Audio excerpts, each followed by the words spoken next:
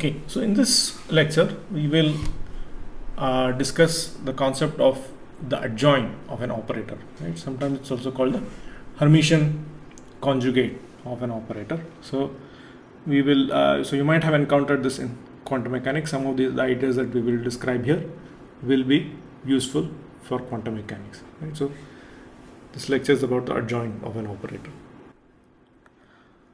Okay, so consider a linear operator A. So we have seen how this operator is completely specified if we are able to write down what its effect on every element of some basis is, right? So there is another way of specifying this operator which is in terms of what are called matrix elements, right? If you are able to give, you know, the value of this bracket or this matrix element x, a, y for any pair of states x and y in the vector space, if you are able to specify this, then that too entirely defines your operator A, right? To see this, um, suppose suppose we wish to find, so given this result, let's see how we are able to find out, you know, the effect of acting with this operator A on some vector EI. Let's let's consider some orthonormal basis EI now, if you operate with A on this vector, it res results in another vector. So, A times EI is, is another vector in your space. So, this vector itself has a has an expansion in terms of this orthonormal basis. So, let us find write it down you know abstractly as alpha j uh, ej with a summation over j. Now, if you take the inner product ej and then exploit orthonormality, you can immediately see that this alpha j, the coefficients which are unknown are in fact just these matrix elements ej, a, ei. But this has been specified for you, right? You know every matrix element possible uh, for for this operator a. Therefore, you know the effect of this operator on any of the basis vectors, and therefore you know everything about this operator, right? So this is an alternate and complete way of specifying an operator is uh, you know is to just to give all the matrix elements right? So we will use this way of specifying what is called an adjoint of an operator right? So you're given an operator so which means that you know what it um, what its uh, effect on any of uh, the basis vectors is of some basis. So we, we will specify every matrix element of the adjoint of of an operator in terms of the matrix elements of the operator itself, right? So that's the way we will define the adjoint of an operator.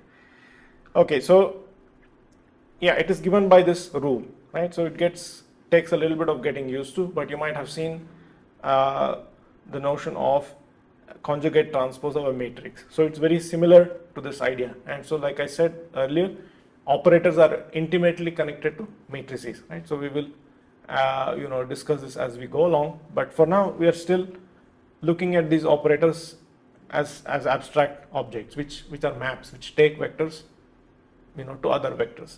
So the adjoint of an operator also will take vector uh, take a vector and give you another vector right? So but we will here define it uh, in terms of matrix elements. So it's simply given by the you know this relation.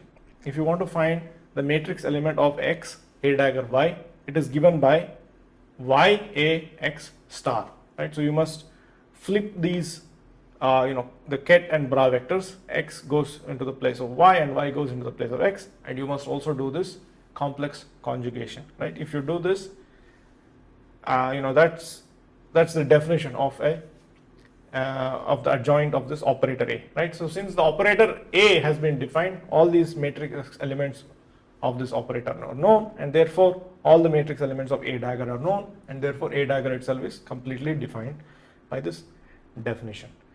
Right um, so let's look at you know uh, the notion of uh, you know uh, uh taking an, a, a, ket vector and a bra vector you know where the ket uh, vector appears first and then the bra vector appears later right so we have seen that if you take the inner product of two vectors.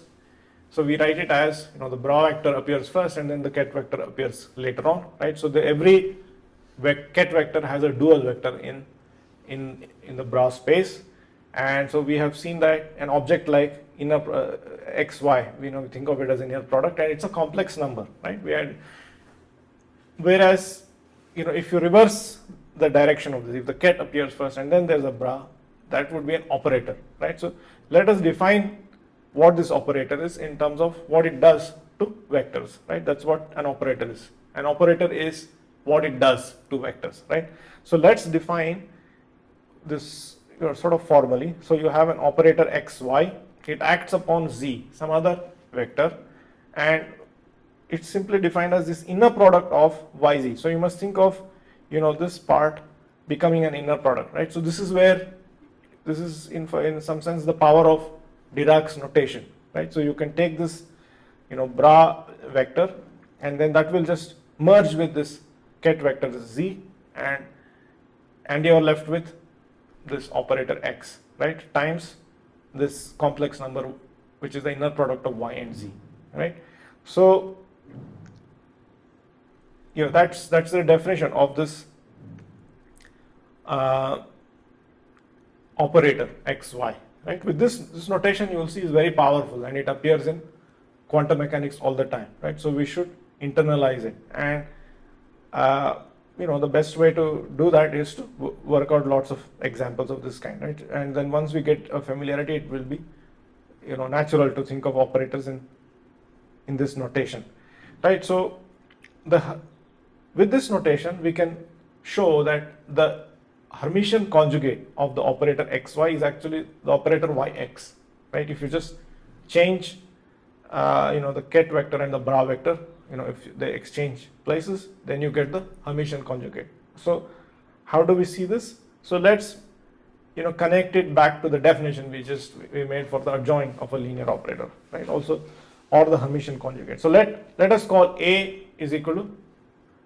uh, xy this operator and b is the other operator yx right now let us show that b is the Hermitian conjugate of a right? To do this, we will work out some matrix elements. So for any vector z, we have seen from the definition of this, you know, type of an operator, a acting upon z is just the inner product yz times x, right? So this is by definition. Now we will multiply from the left hand side with some other arbitrary vector w, right? We have a bra vector, bra w acting on a acting on z will be yz times wx, right? Both of these are complex numbers now, right? So the matrix element is a complex number in general, right? So we started with a vector, we multiplied this vector, you know, operated on it with a uh, linear operator that gives another vector. Now you you take an inner product from the left hand side with another vector w that will give you a complex number. Left hand side is a complex number, right hand side is a complex number, right? This is a check that you know one should do, right? It's useful to do it explicitly when we are starting out, when we're getting used to this type of notation. Now, if we take the complex conjugate of this on both sides, you know, we see WAZ complex conjugate of this is, you know, complex conjugate of YZ star, the inner product of Y and Z, which is the same as the inner product of Z with Y, right? This is also, you know, goes back to our definition of an inner product. An inner product, you know, is even mean is meaningful if this property holds. The complex, the inner product of two vectors is equal to the complex conjugate of the inner product of the same two vectors but in the opposite direction, right? So likewise, the inner product of wx star is going to be x, the inner product of x and w. So again, let's look at what happens if you operate with b on, on this arbitrary vector w. So again, using the definition we have, we get x, w and y. And now if we operate from the left hand side, if we take the inner product with z, then we have z bw is equal to this complex number xw times zy, which is the same. We see it's just the product of these two complex numbers, which is the same as waz complex conjugate of this matrix element. But what is this complex conjugate of this matrix element? We have seen that this is nothing but the matrix element zw of the adjoint operator, right? So since this is true for any two vectors z and w, so we have seen for any two vectors z and w, the matrix element of B is the same as the matrix element of A dagger. This is only possible if B is equal to A dagger, right? So that's how we managed to show that, you know, the Hermitian conjugate of the operator xy is the operator yx. So let's look at how the identity operator can be represented in a very nice convenient form. Suppose you have an orthonormal basis for some vector space V. We can show that this operator made up of EI, EI, you take every such vector, you know, take this, uh, the operator that we have defined corresponding to each of these vectors, sum them all up, that's going to give you the identity operator. Right, to, to see this, you simply operate, you know, use the definition, you operate on any one of the basis vectors. Right, we have EI acting on EJ is, you know, summation over EI, I, EI. But EI, EJ, the inner product of EI, EJ is 0 unless I equal to J. When it will be 1, that's the same thing as putting a delta IJ here, which will give you EJ. So what we have managed to show is this operator I, when it acts on any of these, the any of the basis vectors, will just give you the basis vector itself. And if this operator, you know, leaves every basis vector unchanged, it means that it's going to leave every vector in the space itself unchanged, which is the requirement for an identity operator. So indeed, this is the identity operator, right? We have used our new notation and then, you know, constructed some orthonormal basis. And in terms of this basis, this identity operator can be written in this very convenient form, right? So this is a form that will uh, be used you know repeatedly when you're doing manipulations in quantum mechanics and so on. So very convenient and useful identity to remember to keep in mind. Okay, now let's look at some properties of the adjoint. So one is if you take the adjoint of the adjoint of a matrix, you get back or of an operator, you get back the same operator itself, right? So this is something we can see invoking the definition, right? So if you take any two, you know, vectors x and y. So we'll work out the matrix element of this operator. Uh, a dagger dagger is equal to by definition you know you have to flip y and x their positions go away and then in place of you know one of these dagger goes away you have a dagger x star of this. Now but what is this object? This again can be written as you know the, you have to flip x and y again and then you the you know the dagger is gone there is another star but you know the star and star the complex conjugate of the complex conjugate of complex number is the original complex number itself so you just get x a y. And this is true for all x and y. And that can only happen if this operator a dagger dagger is the same as the operator a right so this is the first property the next property is a plus b the whole dagger is a dagger plus b dagger once again we can show this using the you know from first principles using the properties of the adjoint of an operator. So you take again any two arbitrary x and y, uh, and then you have a plus b the whole dagger in the in the in the middle. It must be equal to you know the vectors you know swapping places. y comes here first, a plus b x complex conjugate of this. But this is the same as uh, you know these are like two complex numbers whose uh, I mean, this also comes from the linearity. You can just write it as the sum of these two separately. And then you can work this backwards and then you, you can rearrange terms again and convince yourself that indeed, you know, uh, the x and y's again change positions and then you have a dagger plus b dagger. So the, the sum of two operators, the adjoint of the sum of two operators is equal to the sum of the adjoints of the two operators. And then finally, there is one more very interesting property, which perhaps you have seen for with matrices, right? You have seen for transposes and for inverses also have similar rule. If you take the product of any two operators and then take the uh, the dagger of this operator, which is the adjoint of the product of two operators, is equal to you know the product of the adjoints, but in the reverse order right? So if you have many of them, of course, this will extend. You can. So let's work out, uh, you know, this rule for these two operators. But the general, you know, n operator rule is something that you can work out on your own. Okay, here we will exploit this identity uh, operation, and it, this also illustrates the power of this method, right? So, so you are given x, ab the whole dagger y is equal to y abx the whole star, which is from the first property. And then we introduce, you know, an identity can be brought in for free, right? Identity operator since it does nothing, so you just introduce this identity between A and B, right? So this is a standard technique, so it's worth you know observing this and you know this uh, trick appears in quantum mechanics all the time, right? So A I B, and then in place of I, we introduce this, you know, what is called a complete set of states. So you have some uh, orthonormal basis for your overall space, and so you can write it as in terms of EI so you have y a e i star of this e i b x star, right? So and then you can uh, you know I have just pulled out. Uh, you know I have skipped a couple of steps here. One is that you know I have I have brought in summation over i e i e i, and then uh, there is an overall complex conjugate. I then I can pull out the summation, and then since the uh, complex conjugate of the product of two complex numbers is the same as uh, the product of the complex conjugates that has also been used here right and then I can pull this out and now